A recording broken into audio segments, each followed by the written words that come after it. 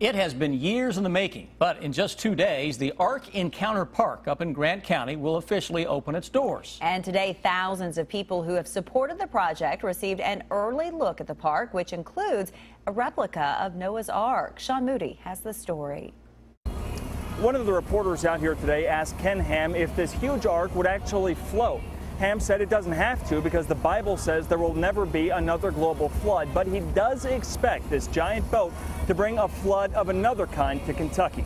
There were about 7,000 people at the park today getting an early peek at the Ark. They were supporters of the project invited by the Answers in Genesis team. Now we don't have to imagine it, we can actually walk in it, see it, and it's uh, just absolutely amazing.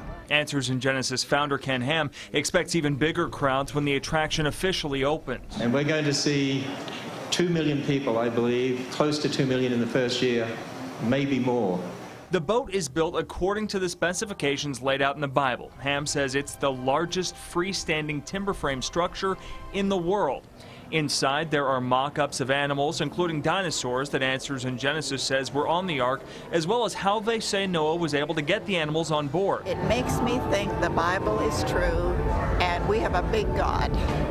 A lot of the people here today were from out of state, but they said they plan to visit frequently. We're going to even buy a vacation home out here because we plan on coming here every year and trying to invite other people from Wisconsin and, and all our friends all across the state. Ham says the park will have a big impact on Kentucky in general. It will have an economic impact on the state of Kentucky of $4 billion and create up to 20,000 jobs.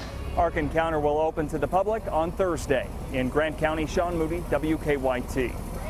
Ticket prices for Ark Encounter are $40 for adults, $28 for children, and $31 for seniors.